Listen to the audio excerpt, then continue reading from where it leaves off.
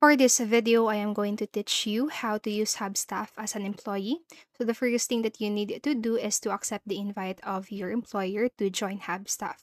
So as you can see here on my screen, I have set up a temporary email so then I can show you what the invite message or email will look like on your email. So once you have opened the email, then an accept invite will or accept invite button will show up on the center part of your email. So click onto it. And if you haven't created an account yet for Hubstaff, you can just continue or go through the process of setting up your account. You just need to fill in all of your information, your email, set up a password, and again, just input all of your information. So once you have gone through all the process and the steps, then you should be able to successfully sign up and create an account in Hubstaff. So once you have logged in, what you need to do first is to go to the dashboard or you'll land first on the dashboard in Hubstaff. So th this is what it should look like. So on the section right here, you'll be able to see different reports or actions. So you have your weekly activity, work this week, and so on.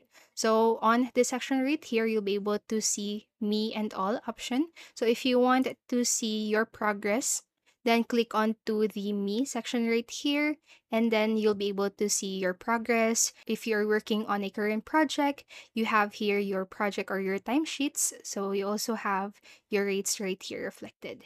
So that's that. Now once you are added for a project here in Hubstaff by your employer, then you should be able to see that on your project management. So you can go to the project management, just locate that on the left side bar of your screen, and you see all of your projects right here.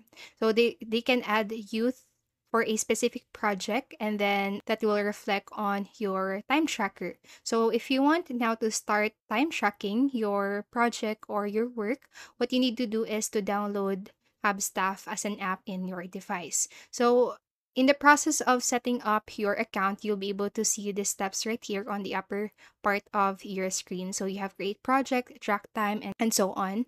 So then once you click into this track time right here, then you'll be able to access this download prompt right here. So you can just click this download an app and as you can see, it is available for Windows, Mac OS, Linux, Chromebook and as a browser app, it is available for Chrome and for mobile apps, it is available for both iOS and Android devices. So once you have successfully downloaded your or downloaded Hubstaff into your device, then you need to make sure that you are going to sign in with the same account that you are added to as an employee so for example, right here, I'm going to open Hubstaff. And if you have current projects on your Hubstaff that you can see on your website, then that will also reflect on your time tracker. So as you can see right here, this is my time tracker. Now to start time tracking for that specific project, click onto that project and hit this play button situated on the center part of the time tracking. So once you click on it, that will automatically start the time tracking. Now, if you don't know yet, Hubstaff has this feature that allow employee or allows employers to see the progress or the activities of their employee by taking screenshots. So if you don't know that, once you have click this play button or st start that time tracker, then Hubstaff will take screenshots of your computer monitor. So just take note of that. And also on the section right here under the activity, you'll see that it is not only screenshot that that Hubstaff are taking but also they are monitoring the apps and the urls you are accessing while doing your work or at least while the time tracker has started so again just take note of that now, if you want to start a project of your own, go to the project management section. Again, just locate that on the left side bar of your screen. And then in here, you'll locate the add project button situated on the upper right part of your screen. Click into it, and this is where you can type in your project name, the members if you want to add members, budget and limits, and themes. So that's that. Now, if you want to access more of your reports, go to the report section right here, and then you'll be able to access different information for your working activities. So you have time and activity, amounts owed, daily totals, and so on.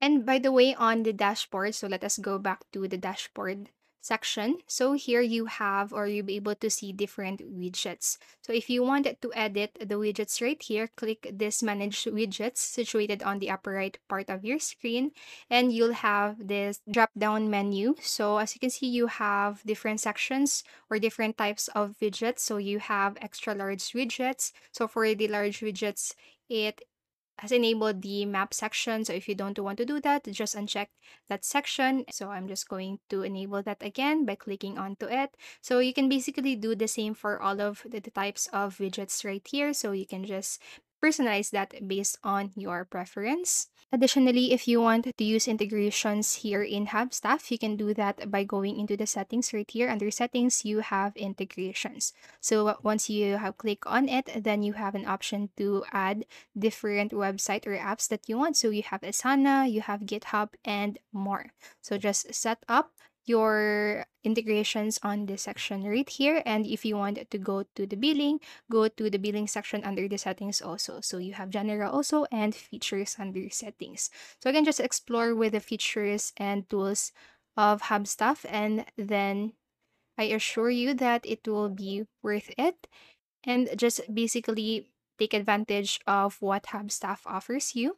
So before we end, I have some tips that I have for you. So just make sure first that you check your activity levels to ensure that you are staying productive and making the most out of your time. And if you notice any discrepancies in your logged hours or have issues with the software, just communicate it properly with your manager and make it a habit to start and stop the timer accurately to ensure your timesheets are precise. And remember to log breaks to get a clear picture of your work patterns and maintain maintain a healthy work-life balance.